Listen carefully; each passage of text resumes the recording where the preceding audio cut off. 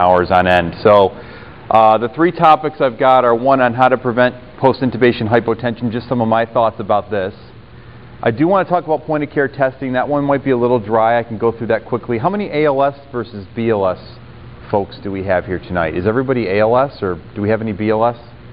Okay, mostly BLS. Okay, so maybe for that one I can go through that a little bit more quickly, although I would argue that uh, even in BLS, these are, these are good things to know, so you know what we're kind of talking about. And then the last topic I think is the most fun topic because it's a controversial topic that I'm not sure how much, um, how much you know about it. I know I learned a lot about it researching it to get ready for this talk. And I, we have some major controversies with chest decompression in the military.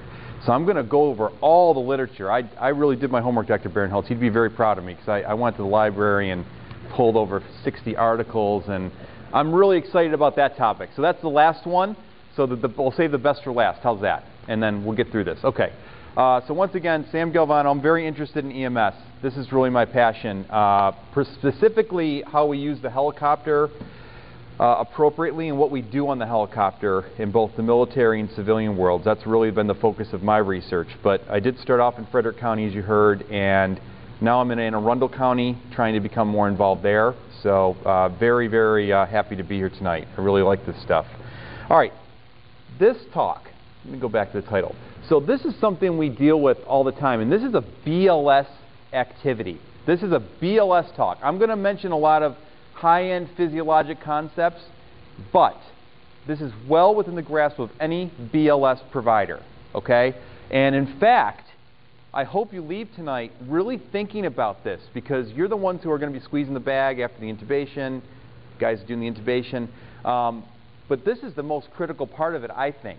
And I think this is the piece we're missing.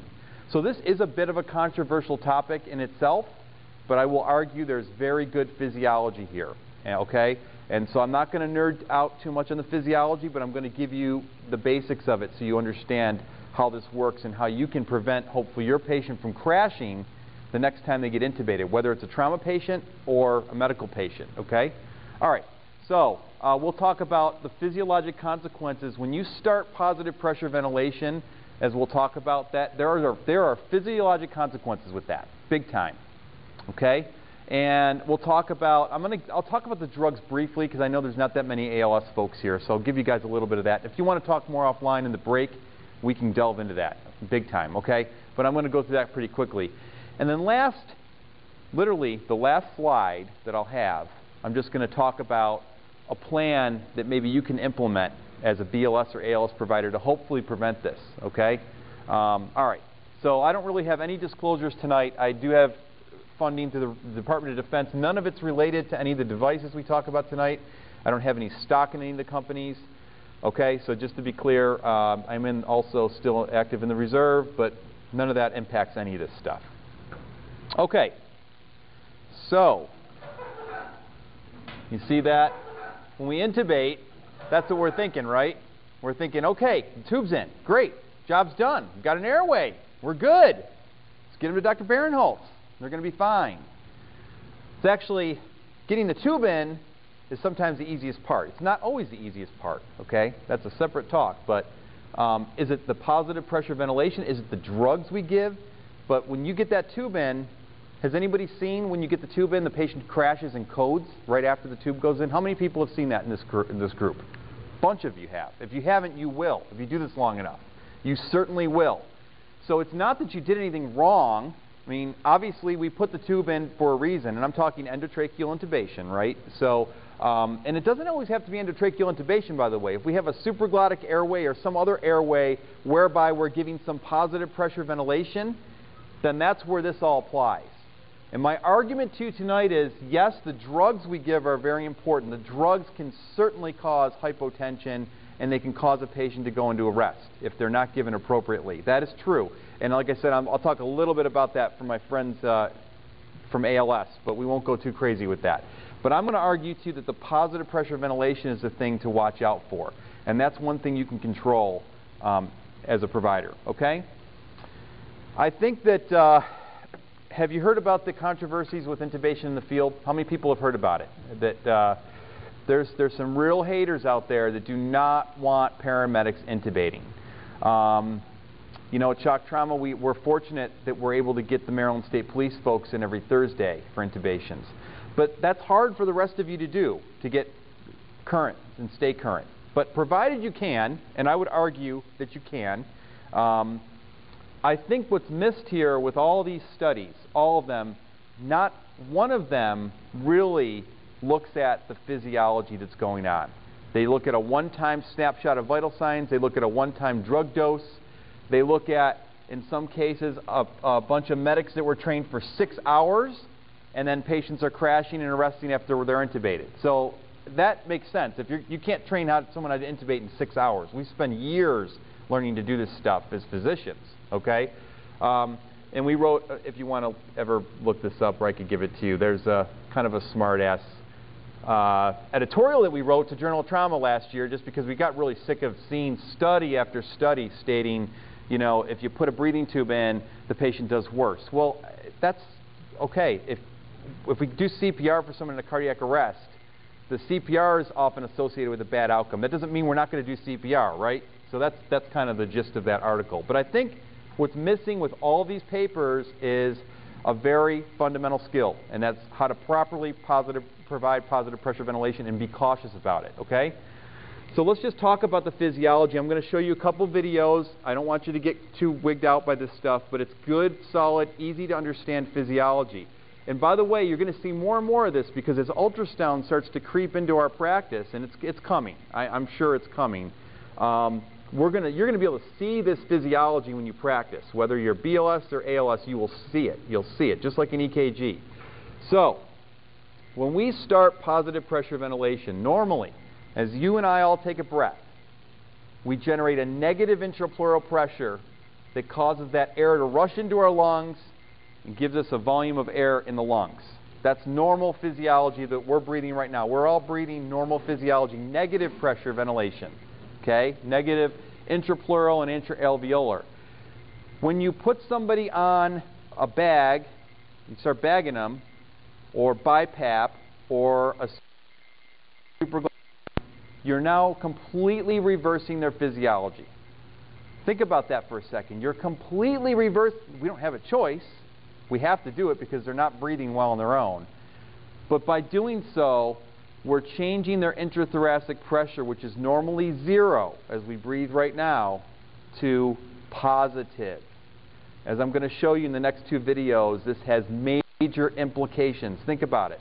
Whenever you reverse something physiologically that should be normal, you've got to expect the consequences to that. Okay? So complete reversal of the physiology here. Um, and as this, in, as, this, as this reversal starts to happen, your intrathoracic pressure increases. Okay, and I'm going to show you some very basic videos on, on how this works. Now here's one. This is not necessarily a bad thing. There's your heart. This is a very primitive video. Your lungs, your heart, and what I'm showing here, trying to show is how that heart gets squeezed by the positive pressure ventilation. What's also happening is there's some stretch that occurs as the negative pressure pulls the LV outwards, the left ventricle, but also that positive pressure helps your left ventricle eject blood out. Bonus question. When might that help somebody? What's one thing we do in pre-hospital medicine that can, for patients that have bad hearts, what's one thing we can do? Not drugs, but BiPAP? Yeah? You guys do that? Do you do that for your CHFers? CPAP, I'm sorry, CPAP, we, BiPAP in the ICU world, but same principle. So you'll do CPAP, right? Will you do that for CHF? Do you have that in your protocols? Yeah? So what is happening there is that is, that's actually a beneficial effect of positive pressure ventilation. It's not just keeping the airways open. It's not just giving them more oxygen. It's not just decreasing their work of breathing. You're also helping their heart. So you may not think of it that way, but ventilation, what we do with that machine, that CPAP machine, which by the way, you probably have some family members that have one. You've seen them. They're very prevalent. I mean, we see them all the time. That's what's happening. That's not a bad thing. Okay? That may be a good thing. That may be a good use of positive pressure ventilation, reversing the physiology and helping the afterload reduction. But the, the part that, that kind of comes back to haunt us, think about that heart being completely empty if they're bleeding out. Think about that. Or think about if they're in septic shock and their blood vessels are vasodilated.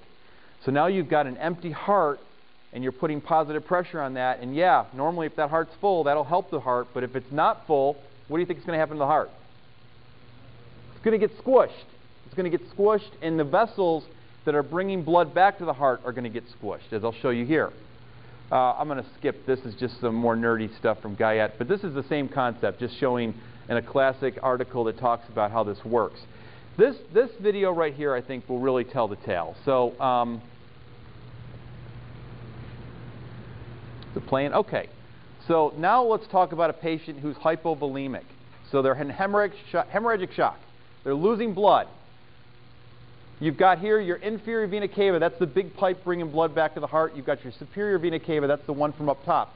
Bringing blood back to the heart, goes to the lungs, comes back to the left ventricle, and squirts it out to the rest of the body. So in hypovolemia, look what's happening here. When those lungs inflate, look what happens to that IVC and SVC. What's happening there? It's getting, it's getting smushed. And we see this on ultrasound when we're able to look at this. I've got some more physiologic stuff here, but this is what's happening right here. Okay? That's impeding your venous return, the amount of blood coming back to the heart. So when you start positive pressure ventilation on somebody who's hypovolemic, and it might not just be, what's another example of hypovolemia besides hemorrhagic shock? So sepsis is similar because they're vasodilated, absolutely, and that can, the same problem can happen. What's, what's another simple one that you've probably seen in your practice almost every week, every day? Dehydration, thank you. Yeah, dehydration, Di severe diarrhea or vomiting, they're fluid down. Fluid down, these pipes are not going to stay full, and when you apply positive pressure ventilation, that can drop the preload to the heart. That load of blood coming back into the heart can get cut off. I'm just showing this is the normal physiology. Normally, our pipes here stay nice and full, so they're not impacted by positive pressure ventilation too much. But my argument to you tonight is this is something we got to watch out for. It's hard. It's going to be hard to see in the field if you don't have ultrasound, and I, and I get that. But I'll give you some tips on, on things you can, can maybe look to avoid. Okay? We'll talk about that. All right? So that's, that's what happens with positive pressure ventilation. And I've got some other stuff on mean airway pressures and venous return, the mean systemic pressure, right atrial pressure. We can talk about all that offline, but there's, it's, it's, it's a little bit more involved than what I just showed you, but that's the basic concept. Everybody pretty clear on that? Have you heard of this before? You have heard of it. Okay. Because it's interesting, because we teach, Dr. Barinholtz, in our line of work, we teach a lot of residents. And um, I remember a case I had, in fact, with, I think Dr. Barinholtz was my attending as a fellow, where, you know, lo and behold, the surgeons tried to blame us, really me, because I was the one who pushed the drugs, for the hypotension in a liver patient who was bleeding. Um, and you know, it was, the patient was sick. It was, it was more than just bleeding. I think there was an infection going on. So super sick patient, you know, liver failure. And um, it wasn't the drugs. We were very judicious with the drugs, very, very judicious. So um, it was the positive pressure, and I didn't even quite understand it. Maybe myself as a fellow, I mean, the patient, we bounced the patient back, but still, you know, you don't want to have to do CPR for a minute or two after intubation. That's kind of poor form. So, but I will tell you, my colleagues and our residents where I work, they'll miss this a lot of times and think that they just gave too much drug. And honestly, when I look back at their drug dosing, it's very, very reasonable amounts of drugs that they gave. Very, very judicious. They were really thinking about it. And I really don't think the drugs are always the culprit. I think a lot of times this is the part that we're missing. Um, and there's some simple things we can do to prevent this, as I'll talk to you about. so, a lot of times also the adrenaline's running, right? So it's pretty easy to, to squeeze that bag pretty hard to really kind of help us create that pressure that, decreases venous return, decreases cardiac output, and contributes Absolutely. I think that's the biggest thing. I mean, it's human nature. When we're on a good call where we're really doing a lot of interventions, like life-saving interventions, um, it's, you know, we're excited. We, are excited that we're able to do all the stuff that we've trained to do, whether it's in the military or here. You know, either way, it's, it's kind of cool to get out there and do it, but you've got to be careful. That's, that's the message tonight. Just be really careful when, when you do this. I'm not saying be a wimp and give them 10 mils on the bag after tonight, but just like Dr. Barinholtz is saying, try to check yourself. It's hard to do. I find myself doing it. After a really tough airway where we struggled to get the tube in, we got it in, SAT's around 80, we're now trying to get it up. You know, I'll find myself squeezing that bag to try to get recovered a little bit, a little bit more than I probably should. So you got to check yourself. That's that's really that's one of the take homes from tonight. This this talk right here, without even getting too crazy with literature. But there is literature, and it's whenever you see a, a number like this, anywhere between 10 and 60 percent, you know the truth's probably somewhere in between. I mean, I don't know what it is here in Baltimore County. I don't know what it is in Anne Arundel County, but it's high in a lot of cases where patients become hypotensive, very hypotensive after they are intubated or after you start positive pressure of some sort. So it's a problem. You will see it in your practice, for sure. Um, this is a study that just came out uh, this past year that's gotten a lot of attention because this in trauma patients. I'm interested in trauma patients. That's why I'm at Shock Trauma. Um, you know, we enjoy taking care of these patients. They're challenging, um, but you know, we have a good system there where we really dedicate all of our care and, and resources to these patients. But you know, these patients are really at risk to have hypotension after you intubate them. So that's why, um, you know, and, and in fact, uh, you know, this is a quote from that paper, but it's also in other papers. You know, hypotension after intubation is not. What, what population might that really be bad for in trauma patients? Where do we really want to watch out for lo low blood pressure? Any any um, specific trauma population where you really want to watch out for that? Yes, TBI, traumatic brain injury. So what if they've got both hemorrhagic shock or bad injuries, and also a TBI. And you, I know you guys see that out here where people start getting fast. I'm, you know, coming up here on uh, 96, 95. I mean, that, that's what you see, right? You see some high-speed stuff up here. So concomitant traumatic brain injury, it's even worse to have that blood pressure drop. And they, this, this study showed up to three times the odds of death. There's, there's issues with this study. We could do a journal club on it. They don't have any physiologic data in this paper either which is my main criticism. There's a little bit, but it's, it's still not getting at um, what we really want to get at in terms of the, all the physiology. But the, the message here is this is a common problem in patients who have traumatic injuries and are intubated. It's a common problem. And I'm going to show you a really dramatic example of this um, that I was involved in in just a minute. So the drugs, uh, and again, I don't want to get too nerdy about the drugs, but if you give a neuromuscular blocker, um, it depends on what paper you read. Neuromuscular block-acting paralytic. So if you give a long-acting paralytic like vecuronium or rocuronium, this is for my ALS folks, okay? Um, there is an increased risk of more hypotension, and at least in this study, but it's a small study. It's a small study, and I, I mean other studies you'll read where they don't really show that. If a patient has a low mean arterial pressure, if they're hypotensive before, there's no good reason to think if someone's hypotension be, hypotensive before you're intubating that they're suddenly going to get magically better and hypertensive. Now, we talk about the laryngoscope going in and manipulating, right? You've heard that. And that, that may be a little bit of stimulation. But if the patient's sick enough, there's no good reason to think anyone who's hypotensive is suddenly going to recover miraculously with intubation alone. In fact, I would submit to you tonight, you should anticipate that they're going to get worse. Okay? They're going to get worse. So that's just some of the stuff out there. Uh, I'm not going to talk about shock index tonight, but um, maybe we can revisit that. Uh, that's that's that's evolving, and you, it's really not user friendly right now. There's other things like if they have renal disease, if they're elderly, if they have a mean shock index. These are things that you can also use in your armamentarium. But let, let's start talking about some solutions. Let's that's that's you know the problem now. You're aware of it and we'll be more aware of it hopefully in your practice. But let's talk about how we can solve the problem. And I'm going to, here's where we get into some of the drugs. So there, there's the Europeans, they don't have some of the cost constraints we have. Uh, this again is for my ALS providers. We're not going to, you're not going to see this drug. I do use it where I work, but I have to go all the way downstairs in the operating room and grab it. And it's more just to teach the residents that there's different drugs we can use to do the same thing. Um, this is a good one for that. You can use it with a neuromuscular blocker or without. This is, so this is fentanyl on steroids. You guys know how strong fentanyl is because you've heard it in the news, even if you're not an ALS provider. If you're ALS, you certainly know about fentanyl. Remifentanil is 250 times more potent than morphine. The beauty with Remi, though, is it's gone in eight minutes. It's broken down by esterases. And it doesn't matter if you've got renal failure or kidney failure. It's gone in eight minutes. Gone. Drug. It's a very short-acting, ultra-potent opioid. The problem is it costs about $60 a pop. And compared to fentanyl, which is, I don't know, Dr. Barinholtz, if you've got the pennies, right? Fentanyl is actually dirt cheap, okay? So um, it's hard to, to make an argument to use this, but I can tell you, at least in this study, uh, they used it. They did four different groups, and they found that they had a very low risk of hypotension when they did this, with or without a neuromuscular blocker. There's also the 3 to 2 to 1 and 1 to 1 to 1. So that refers to the dosing range. This is all pure for the ALS folks real quickly, okay? So fentanyl, you can give them fentanyl plus ketamine plus rocuronium. We don't use rocuronium, right? Does anyone here use it in any other jurisdiction outside of Maryland? Probably not.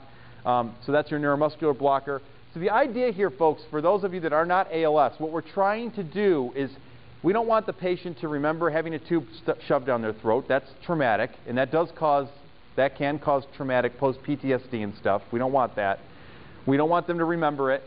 But really what we want is a stable, your airway reflexes, even when you're sick, are very strong. I mean, right now, if I tried to put a tube in any of you right now, you, you would want to kill me, right? Because our nerves up here. So all we're trying to do with these drugs are temporarily take the nerves out of the, out, out of the equation um, temporarily so we can get the tube in safely without having the tube, the cords try to cut off on us. Okay? So that's just the BLS side. But I'm, I'm not going to go crazy with the drugs. We're going to just move through this. Okay, so in Maryland, what do we do in Maryland? So everyone here in Maryland is familiar with our rapid sequence induction pro, uh, pilot program. Pilot program, which I, I will today. Um, I think is unfortunate. I understand why it's a pilot program. They make, they make it that way on purpose so they can change it rapidly if there's new advances. So pilot program, as you know, can be changed, but you got your protocols there, I think, right? So you can't change it if it's not a pilot program in Maryland because of all of our bureaucracy. But here's the drugs that they have, etomidate, ketamine, midaz. I'm really happy to see ketamine in there. So that's one of the first things I'll say for the ALS folks. I do think ketamine is a very good choice in trauma patients or hypovolemic patients that is my drug of choice um, that I will use, but I'll come back to that in a second.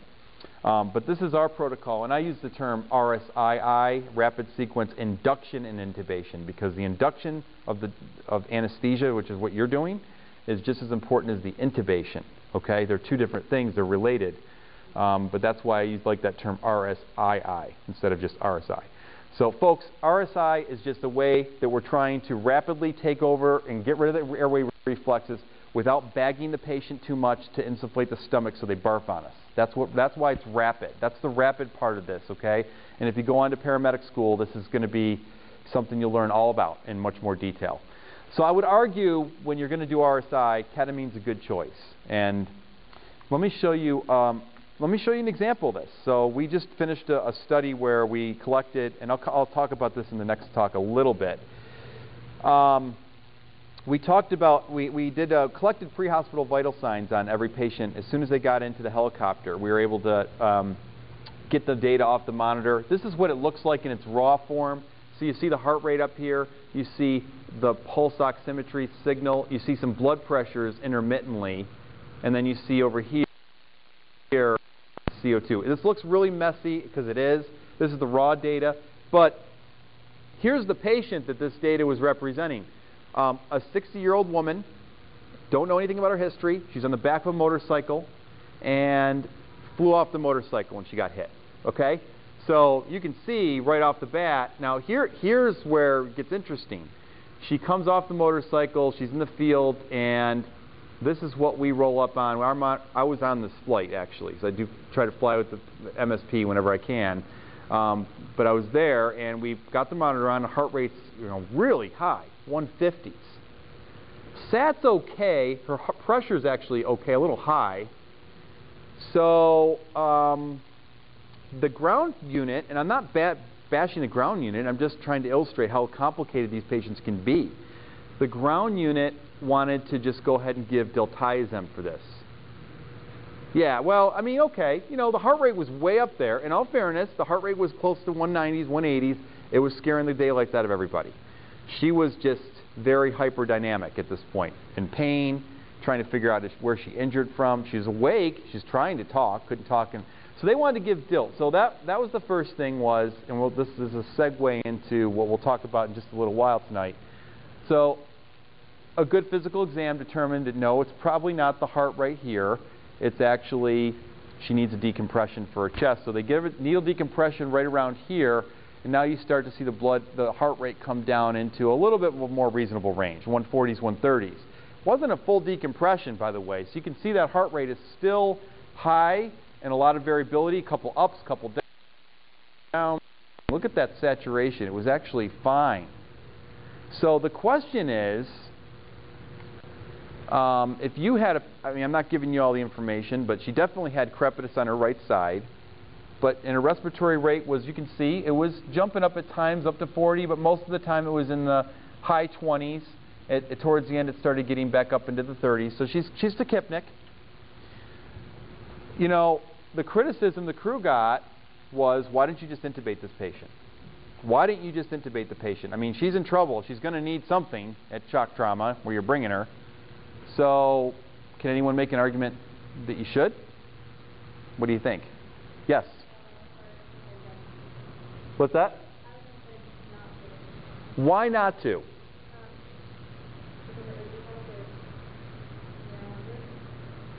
So, I think that's yes, absolutely. Um, right? Like if we shoot her great, now we have a definite airway, we're definitely ventilating, but the issue, that the reason she's tachycardic isn't because of the, lack of ventilation, it's because she's got the, the. Yeah. Chemo or whatever, like, yeah. yeah, so it could be a hemo. Can you repeat the reply, Sam?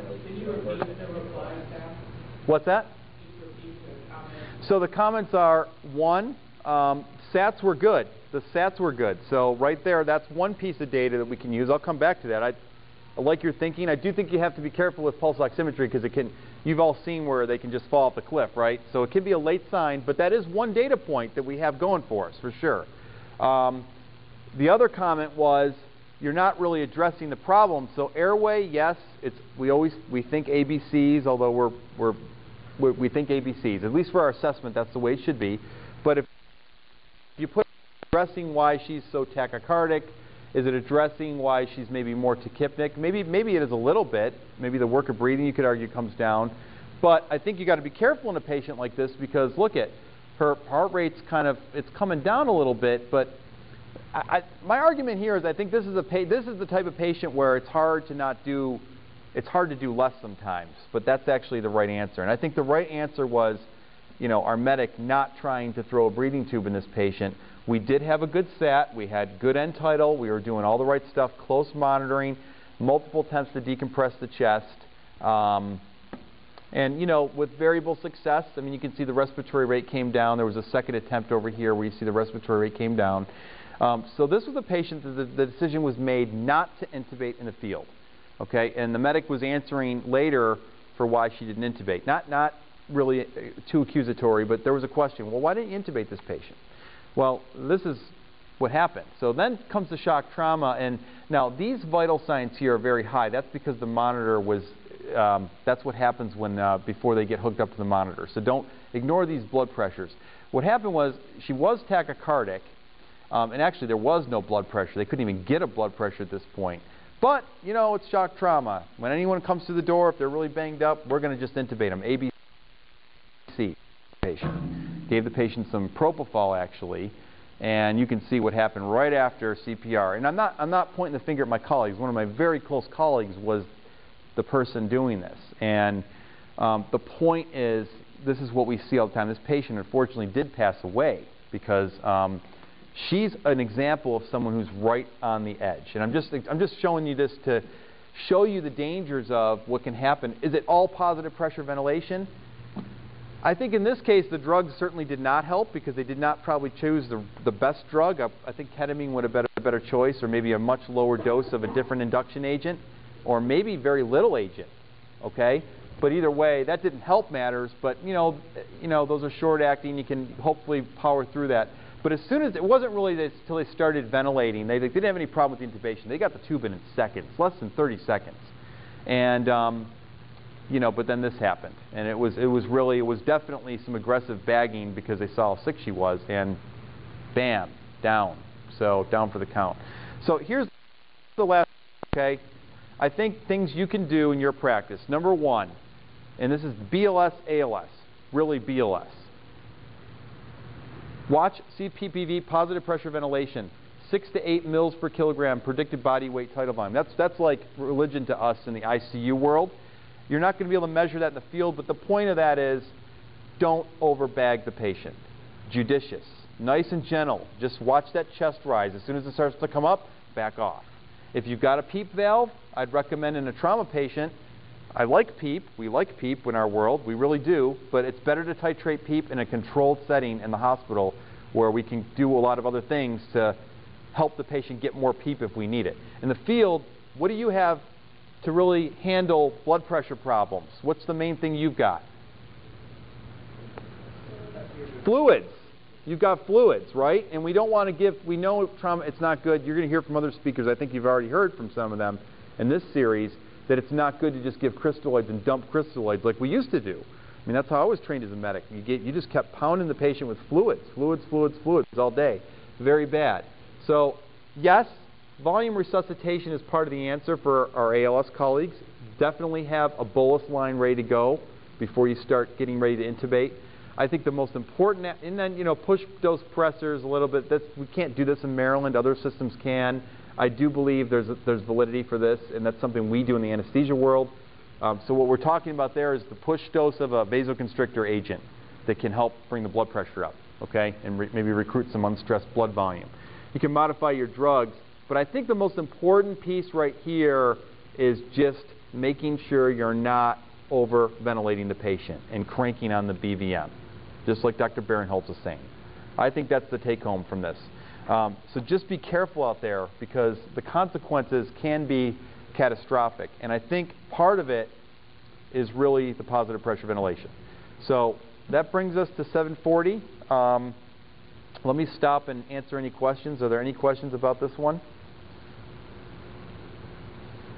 So I think we're doing pretty good, Dr. Barinholtz. Do you want to uh, do you want to take a Do you want to go right into the next one? Okay. Yeah, yes, sir. I'll go kind of, I'll go a little faster with this. There's, I'm gonna, um, yeah, I debated about this one. The last one I think you guys will like because that's actually got some skills that are really applicable. And um, it's stuff, really good stuff that I think you should know. But um, this is something you might start hearing more about. So uh, I'm, I'm sorry, I'm just not familiar with Baltimore County's. Yeah, there's a lot of discussion about a variety of different do you have, what's the most common one you guys use here though? Glucose, right? So you're doing point of care testing. We've been doing it for years in EMS.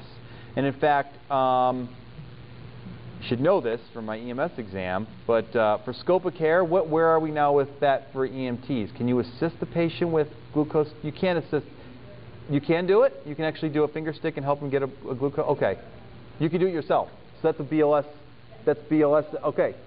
So, all right, that makes me feel better. So what I'm talking about here, the skills that I'm talking about here are skills you're already doing. I mean, you're doing point of care testing. Um, I'm just going to show you a couple other aspects of it. All right, so uh, again, all that. Um, here's the main thing, reason why I'm personally interested in this, because for those of you that have been to shock trauma, you've seen the board, the whiteboard, and you hear the call come in, and if we're not doing anything, I'll usually stand next to Joe and listen to the phone and try to figure out, am I going to have to get another OR ready? Am I going to, do we just empty our blood cooler? Uh, this patient's coming in with a GCS of 9 and a heart rate of 140 and a blood pressure of 90.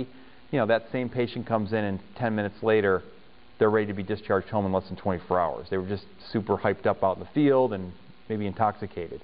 Then you get the patients who have blood pressures that are kind of normal-ish, Maybe a little tachycardic, but that's hard to discern what that is because they could just be under pain. And, you know, you're not sure about that one. Could that be the spleen? I will tell you, you I think you were on duty. You were just coming off duty. We had two patients who had, one had actually signed out AMA 24 hours ago and came back in hemorrhagic shock the next day. So code one to the OR. Next one right after was another guy, who did not sign out AMA, but it was at an outside hospital with a belly full of blood, but normal vital signs. So the point is, how can we identify these patients? And this has been the subject of some of our recent work, which I'll, I'll share a very night. But we're trying to figure out, is there something we can do in the field to get our arms around these patients in terms of diagnostics? Is there something we can do better? Is it a lab test? Okay? Is it, is it a lab test? Is it lactate? Is it something like that? Or are there better ways that we can do business? But right now, to look at vital signs alone, it's probably not the answer unless we look at the vital signs a little differently. So point of care testing, I'm going to talk to you about the iStat just so you're aware of it. I'll go the, the most prevalent device out there. It's one I'm certainly most familiar with.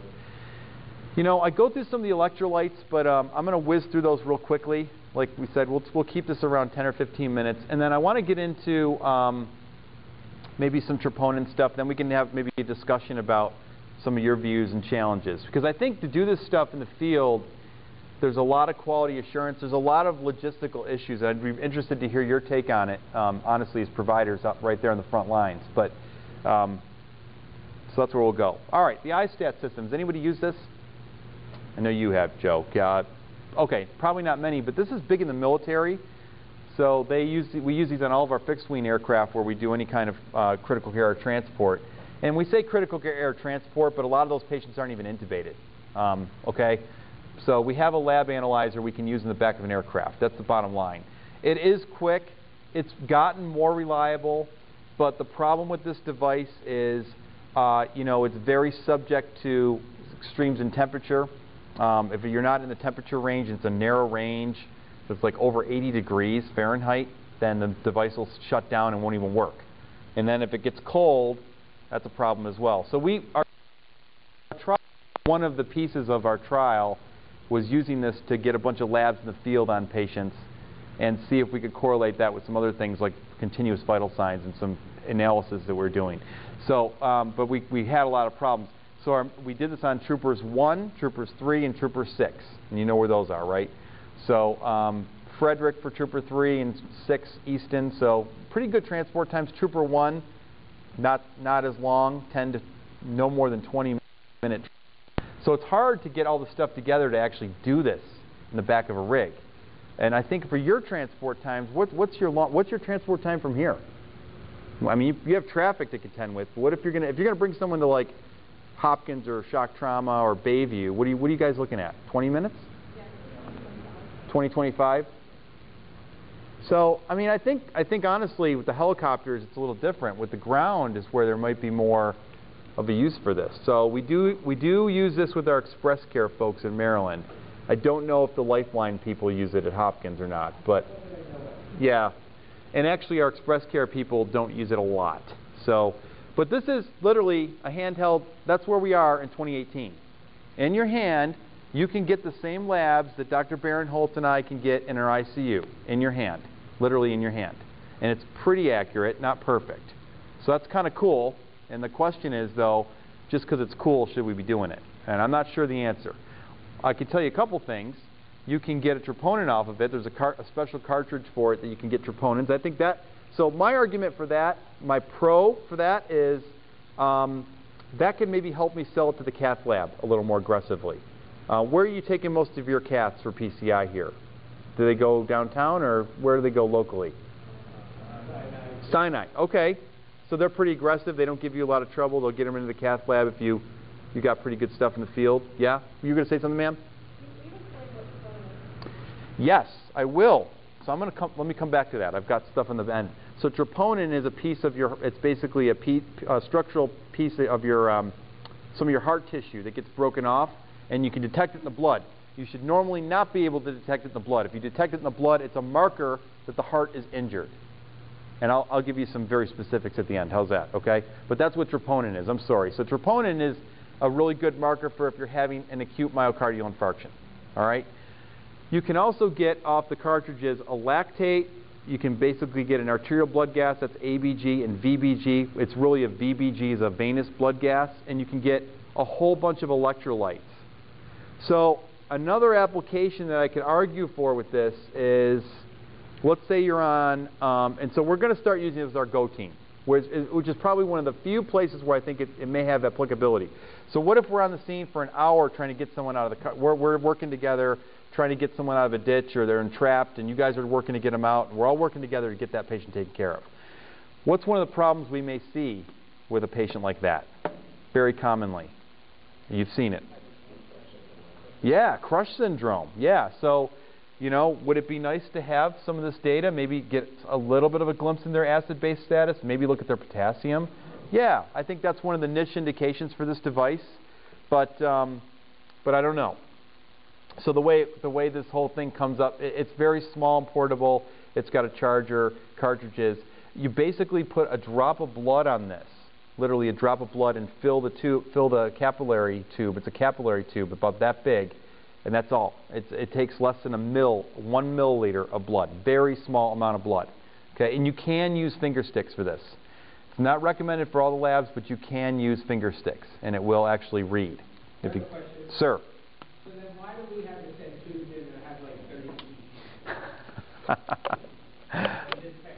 I, I, I don't know. That's, that, that's been my interest with it. Um, I don't know. We're using a lot of the pediatric tubes where we we're at. I, I know this, this is a huge safety thing. So you, you know, you folks probably, I don't even know if you realize what a leader Dr. Barinholtz is with patient safety. Literally an international leader in this stuff. Asking questions like that where, you know, simple things we can change in healthcare that could have a major impact. We, can, we bleed patients down in our ICUs. I'm just going to tell you guys that. We bleed them down. If you keep drawing the blood and they're not bleeding, trust me, their hemoglobin will fall below 7 in just a, a week or so. We see it all the time. We take tons of blood out of patients we don't really need.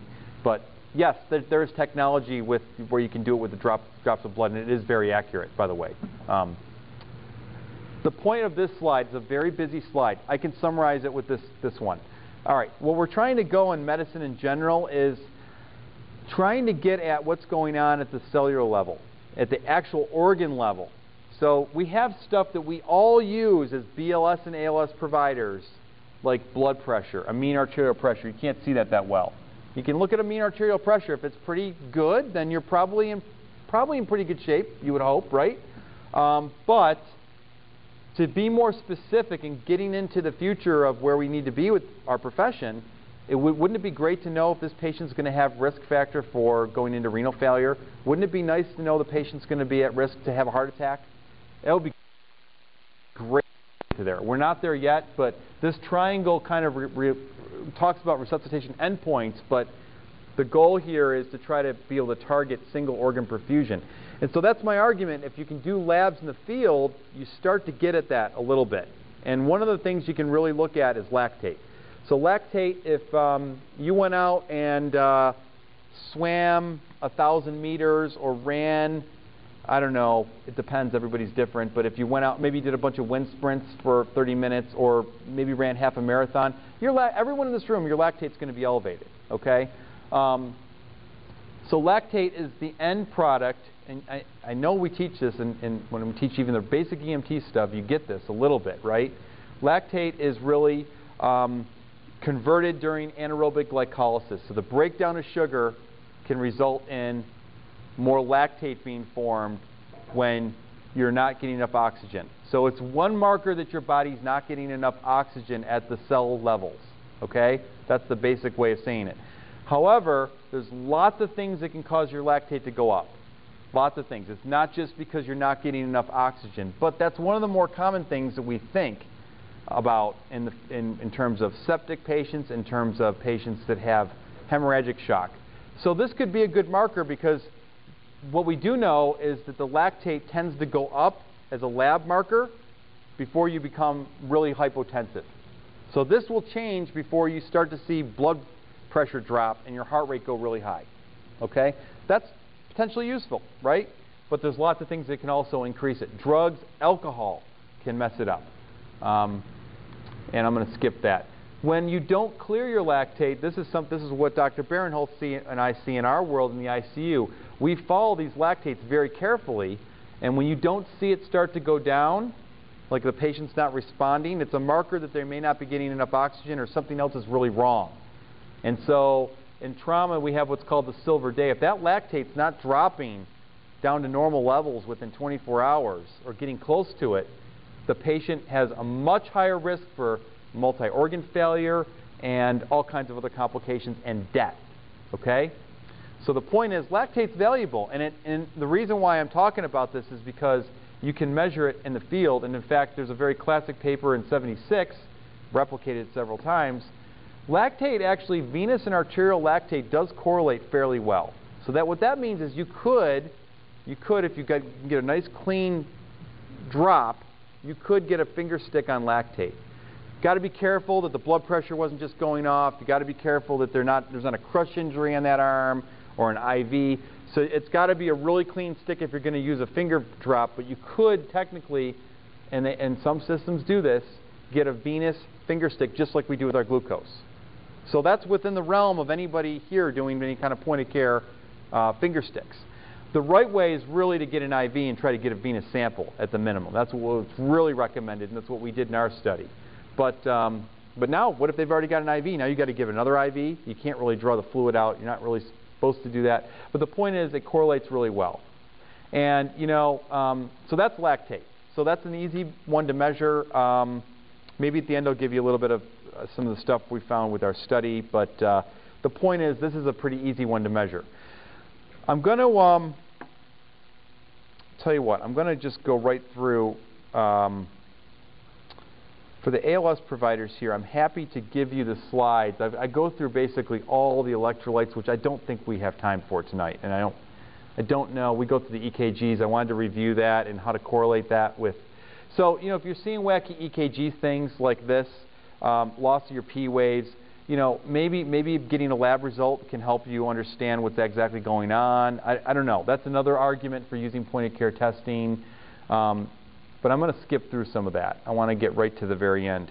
Um, unless you want to talk about this, but I, I, think we got enough other fun stuff to talk about in a little while. So I'm going to I'm going to skip through this, but this is all stuff that's well within testing realm of registry and everything, right?